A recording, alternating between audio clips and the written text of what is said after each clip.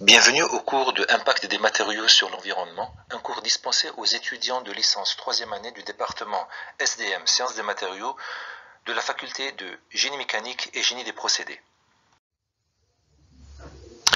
Avant tout, il faut savoir que ce cours s'interroge sur les relations entre le matériau et l'environnement, ainsi que les réponses de l'environnement face à l'utilisation des matériaux savons que l'environnement réagit sur les matériaux via leur dégradation d'un point de vue chimique. Et là, je vous renvoie au cours de corrosion dans le cas des métaux et de dégradation dans le cas des céramiques et des polymères. Maintenant que c'est le sens matériaux vers environnement qui nous intéresse, parlons de matériaux et de ces états et classes puis citons les différents environnements dans lesquels ils sont utilisés. Nous savons que les matériaux se présentent dans plusieurs états euh, physiques, alors l'état solide, l'état liquide, l'état gazeux. Eh bien, pour ce cours, l'impact des matériaux sur l'environnement est surtout dédié à l'impact des matériaux solides sur l'environnement et il n'est pas interdit de citer les différentes classes de matériaux utilisés aujourd'hui, que ce soit dans notre quotidien, dans l'industrie et même dans le bâtiment. Il est vrai que pour certaines propriétés exigées, certains matériaux sont privilégiés par rapport à d'autres. Cependant, une liste d'avantages et d'inconvénients à leur mise en service est fondamentale à révéler, au moins pour prédire la réponse de l'environnement. L'environnement peut être défini par tout système dans lequel le matériau existe ou vit on parle d'environnement humain, c'est-à-dire le corps humain, et étudier les impacts des matériaux sur la santé humaine, que ce soit pour les gaz inhalés ou respirés, les suspensions solides à l'échelle nanométrique des particules dans l'air, par exemple les fumées des cimenteries, ou l'effet des matériaux naturels solides tels que l'amiante sur la santé humaine. Je vous rappelle que l'amiante est mondialement reconnu comme étant un matériau certes naturel, mais hautement cancérigène. Ceci pour l'environnement humain. Il y a également l'environnement animal et toutes ces substances crachées dans l'atmosphère, telles que les pesticides, qui, une fois en contact direct avec le monde animal, retrouvent un impact indirect sur la vie de l'homme. Je parle notamment des pesticides qui tuent des insectes tels que les abeilles qui sont elles-mêmes responsables de la production de fruits et légumes.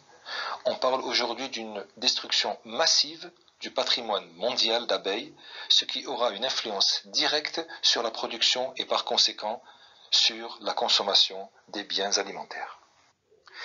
Si avant l'ère industrielle, les bourdons étaient massivement utilisés pour la pollinisation des fleurs de fruits et légumes, aujourd'hui des hormones de croissance sont présentées comme une alternative, ce qui certes favorise la croissance des fruits et légumes, mais cette croissance sera surdimensionnée et les impacts sur la santé humaine à moyen et long terme ne font pas l'unanimité de la communauté scientifique.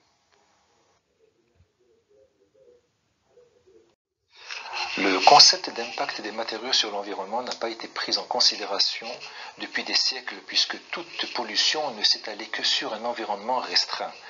Les révolutions industrielles ont engendré de la production de déchets parfois irréversibles pour l'environnement. On parle alors de l'impact du plastique et sa non-dégradation sur plusieurs dizaines d'années, et de la production de biens d'équipement électroménagers, mobilier, meubles en bois, qui, une fois rejeté dans la nature, reste en contact permanent et durant les quatre saisons avec l'environnement. Le confort relatif dans les différentes sociétés engendre des tonnes de déchets chaque année, et ce taux annuel a plus que doublé en moins d'un siècle, alors que la population mondiale en moins d'un siècle est passée de 2,5 milliards en 1950 à 7,8 milliards en 2020. En étudiant l'impact des matériaux sur l'environnement, on ne peut que constater l'ampleur de la dégradation du cadre de vie de ce qui nous entoure et donc de l'homme. Une pollution de l'environnement va indirectement toucher la santé humaine et la santé animale, étant donné que le sol sur lequel nous vivons est une sorte d'éponge filtrant tout ce qui entre. Par exemple, les infiltrations dans le sol des déchets chimiques des usines, ce qui conduira à court terme à la pollution de la nappe phréatique ou de la nappe d'eau qui sert à abreuver l'homme et l'espèce animale. De même que la non-rationalisation dans l'industrie des biens d'équipement et des biens de consommation, non-rationalisation veut dire la consommation sans que cela soit nécessaire, tels que acheter ce qui ne sera utilisé que très rarement, est une source de gaspillage de matières premières nécessaires à leur fabrication, ainsi qu'à l'énergie nécessaire utilisée dans leur réalisation. Il est clair que pour impliquer la communauté internationale et la communauté régionale dans la rationalisation de l'utilisation des matériaux dans le souci du respect de l'environnement, qu'il soit environnement humain, environnement animal, environnement végétal ou carrément l'environnement global, les autorités responsables doivent dresser une liste de lois limitant les excès, donc limitant le gaspillage de matières premières et de ressources énergétiques, qui dressera les fondements du développement durable à l'échelle locale, puis à l'échelle globale, dans le but de préserver les ressources naturelles en étudiant leur abondance, leur disponibilité et leur consommation.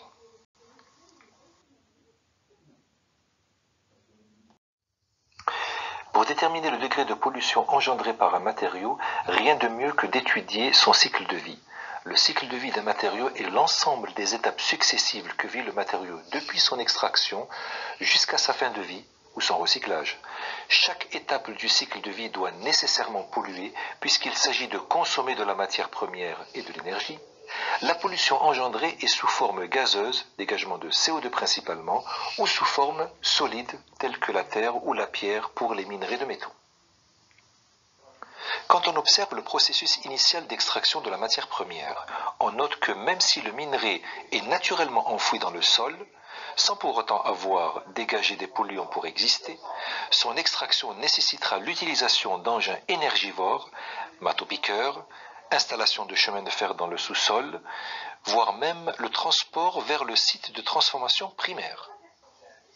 Dans le site de fabrication, les différentes étapes pour aboutir au produit fini consomment de l'énergie et donc produisent des gaz polluants, par exemple du CO2. Tout dépendra des procédés utilisés pour aboutir au produit fini. On parlera des, des températures de transformation, telles que les températures de fusion, les températures d'ébullition et même les températures de transformation à l'état solide, par exemple les transformations allotropiques dans le cas des aciers, pour passer du cubique centré, CC, au cubique à face centrée, CFC, et inversement. Les machines dédiées à la déformation plastique ou à la mise en forme sont également énergivores. Une fois arrivés à l'étape d'utilisation, les matériaux peuvent subir d'autres transformations, surtout dans le cas de la maintenance. C'est le cas de la lutte contre la corrosion pour les aciers, utilisation de peinture anti-rouille ou de changement de pièces détériorées par soudure ou de remplacement de chaussées dégradées par les changements climatiques par du goudron frais, et ceci se réalise en consommant de la matière première et de l'énergie, soit en polluant l'environnement par dégagement de gaz toxiques. La maintenance des matériaux durant leur durée de vie se réalise à grande échelle comme les changements de poutres en acier dans la construction immobilière en charpente métallique, comme à petite échelle quand il s'agit de réparer un bijou en or ou en argent ou une soudure en électronique. Tout ingénieur dans un bureau d'études voulant proposer un matériau alternatif à ce qui est conventionnellement utilisé doit tenir compte du chemin suivi par le matériau dans son analyse de cycle de vie, c'est-à-dire dans sa quantité de résidus restitués à l'environnement sous forme de gaz, de liquide ou de déchets solides, car ceci ne fixera pas seulement le prix final du matériau à la tonne ou au kilogramme, mais aussi à son impact sur les différents environnements, humain, animal, végétal et environnement global. En fin de parcours du cycle de vie, le matériau se retrouve au croisement des chemins entre une fin de vie destinée carrément à l'entrepôt, loin des regards, et un environnement non immunisé contre un déchet toxique. C'est le cas des plastiques et de tous les matériaux qui, selon le degré de développement des pays, pourraient aller jusqu'à constituer un fléau national. Par contre, et c'est pour cela que le génie des matériaux et le génie des procédés sont souvent sollicités, une deuxième vie pourrait être proposée aux matériaux une fois rejetés et sa réinsertion dans le cycle de vie à un degré donné s'avérerait bénéfique puisqu'elle polluerait moins l'environnement puisque ce matériau existe déjà sans recourir à son extraction polluante. Citons par exemple l'aluminium qui pourrait être recyclé plusieurs fois tout en gardant de bonnes propriétés. Recyclage de canettes de boissons en aluminium par exemple, d'autant plus que l'aluminium a une température de fusion de 660 degrés Celsius, son traitement n'est pas aussi énergivore que certains matériaux à haut point de fusion. Ce métal mou a non seulement une relative basse température de fusion, mais également sa déformabilité encouragerait son entreposage en tant que résidu à grande échelle. D'autres matériaux ont déjà observé une seconde chance. Je citerai le bois qui, une fois usiné, libère des tonnes de sure qui, une fois compacté, pourrait servir de matière première à un ensemble non négligeable de mobilier résistant pendant plusieurs années.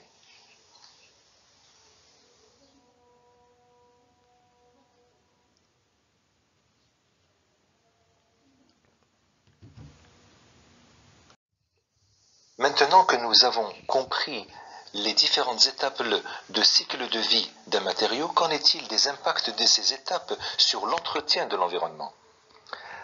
Par exemple, l'extraction de la matière première. Il est bien évident que la nature même du matériau a son propre impact sur l'environnement. Citons par exemple le bois qui, comme nous le verrons, provient initialement des forêts, une campagne de coupe de bois à grande échelle pour fabriquer du bois d'œuvre, des meubles, serait fatal pour l'environnement si un programme local ou national de plantes d'arbres ne serait déjà entamé. Il y a de cela plusieurs années.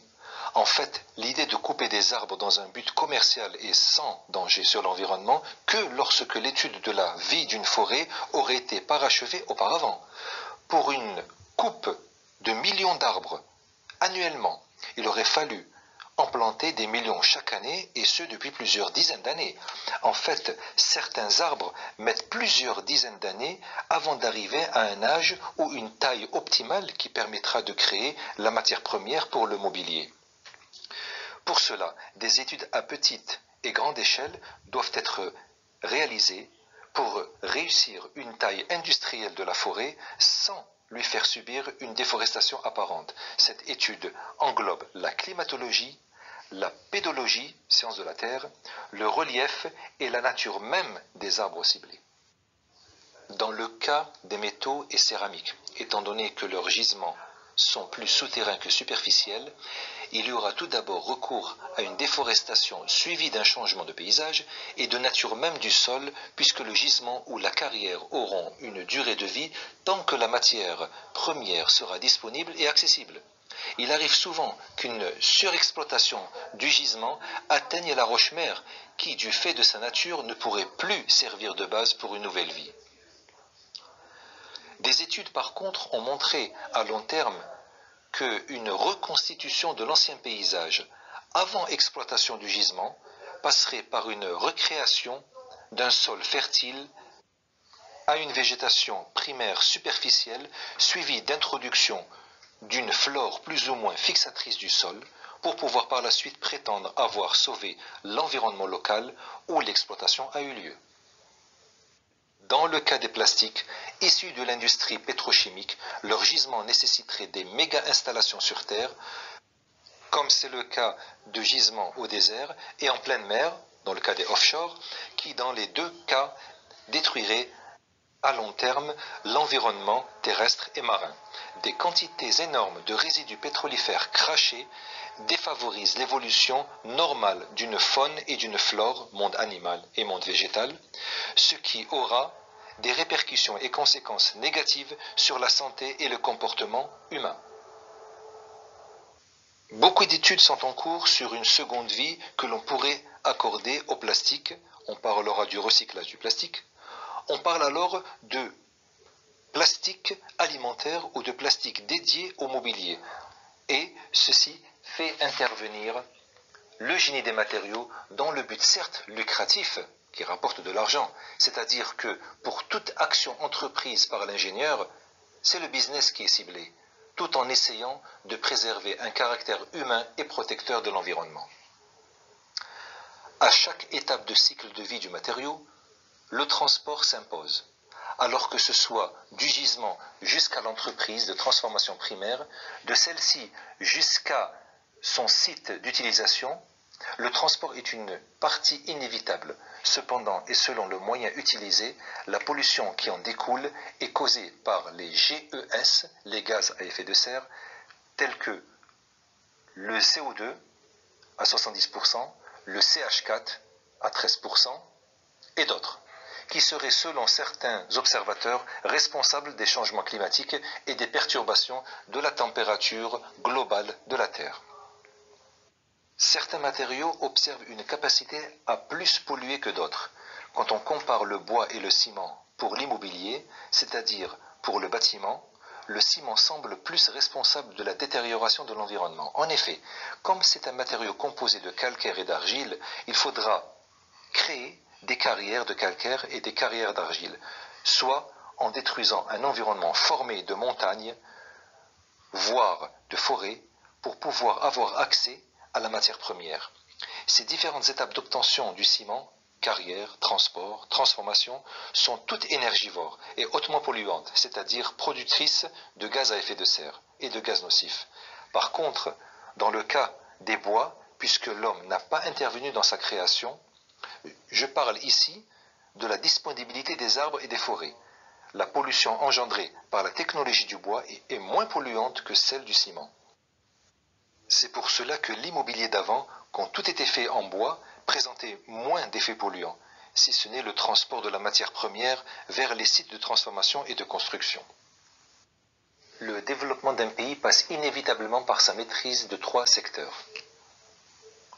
Le secteur primaire, l'agriculture et l'élevage, le secteur secondaire, l'industrie, et le secteur tertiaire, les services.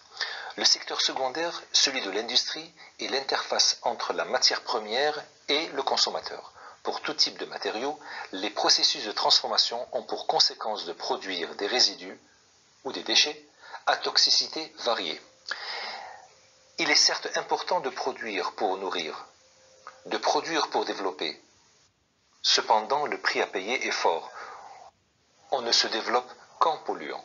Les pays les plus industrialisés aujourd'hui les États-Unis d'Amérique, l'Europe de l'Ouest ainsi que la Chine et le Japon sont des pays producteurs de déchets qui attaquent l'environnement. Nous pouvons qualifier ceci de guerre entre guillemets contre l'environnement qui assure le besoin nécessaire à l'homme mais pas pour son confort au-delà de ses besoins.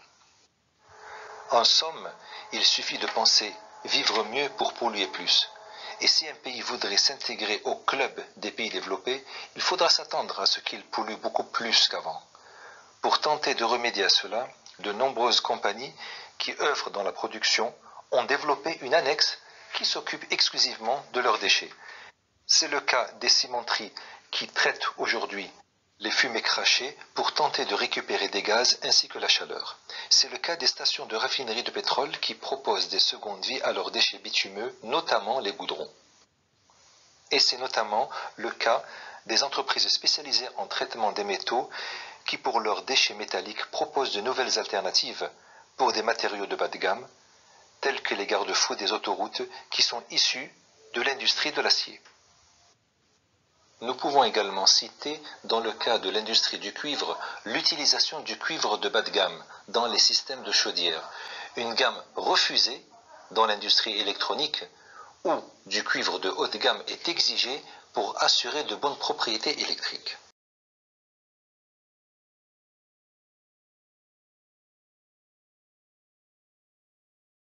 L'impact des matériaux sur l'environnement est une thématique qui aujourd'hui intéresse de nombreux bureaux d'études où ingénieurs et techniciens s'efforcent à proposer des alternatives aux matériaux polluants actuels et ce en réduisant leur impact négatif que ce soit à leur extraction, leur fabrication, leur mise en œuvre ou leur vie en œuvre.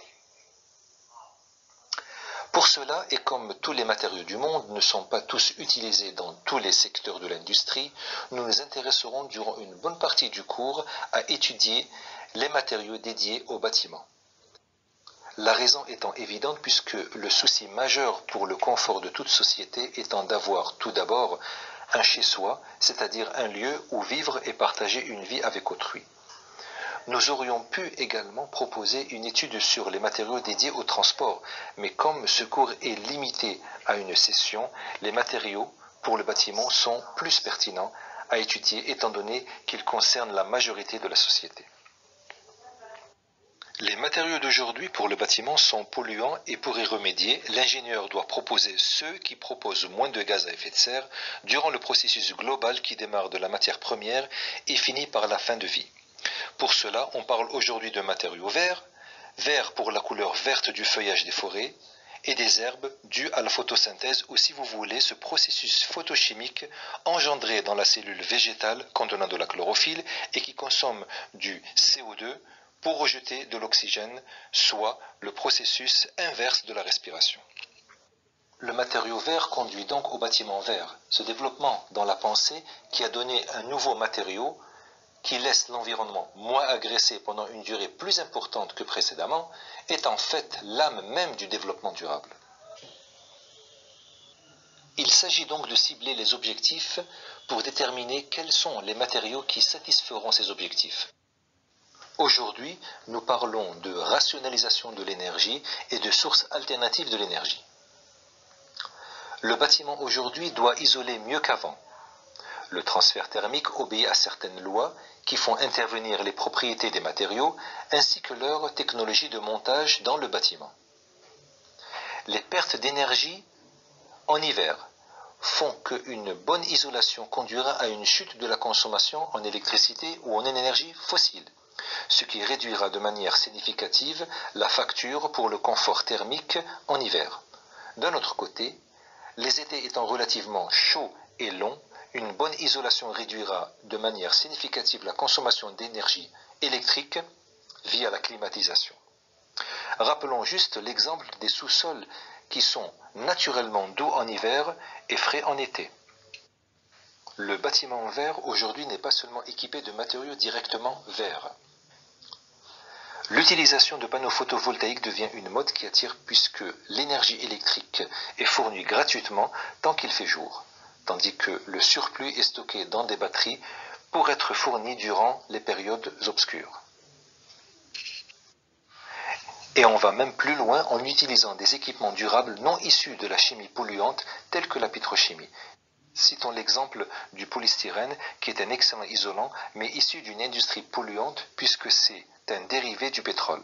Pourquoi ne pas le remplacer par un matériau isolant issu de la biomasse, tel que la paille ou tout autre déchet de forêt, tel que les écorces d'arbres morts ou de sciure de bois agglomérés Les ingénieurs en matériaux du bâtiment ont beaucoup de pain sur la planche à proposer des alternatives car il faut être convaincant face à des habitudes peu clémentes à l'environnement et qu'il faut supprimer petit à petit puisque la population ne cesse d'augmenter et le besoin énergétique ne cesse de s'accroître. Finalement, les matériaux sont ceux qui gèrent nos modes de vie. En 1973, lors du crash pétrolier, les pays importateurs de pétrole se sont vus obligés de réduire leur consommation d'énergie électrique qui est elle-même tributaire des cours du pétrole, puisque les centrales électriques produisent de l'électricité à partir d'énergies fossiles telles que le pétrole et le gaz naturel. Une proposition a été faite à l'époque qui stipulait qu'en remplaçant les murs d'un bâtiment conventionnel en briques par une façade en verre, prolongerait la durée d'exposition du bâtiment à l'éclairage solaire, tant qu'il fait jour. C'est ce qui a pu aider à grande échelle à contrer la dépendance en énergie fossile trop incertaine et non contrôlable.